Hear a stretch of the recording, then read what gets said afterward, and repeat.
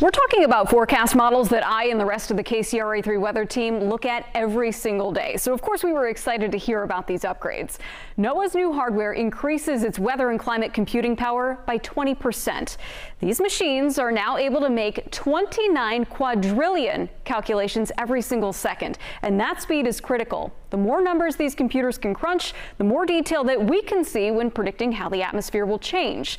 NOAA plans to harness that power to make four key improvements to its weather models. A big one is resolution. Resolution lets you see the things that are going on out there much better. Think of a, a TV screen. Would you rather have standard definition or would you rather have high definition? The current resolution for the American model, known as the GFS, is 13 kilometers. This is an approximation of what it looked like this morning over the Northeast. The plan is to increase that resolution to 9 kilometers this is what that would look like. And you can see the comparison here, just how much clearer some of those weather systems are.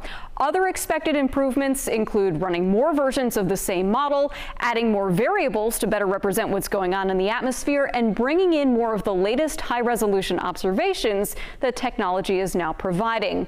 NOAA is also now partnering with other federal ag agencies, research universities, and private companies to bring these kinds of innovations into its weather models at a faster rate. Modeling experts are working on these improvements right now.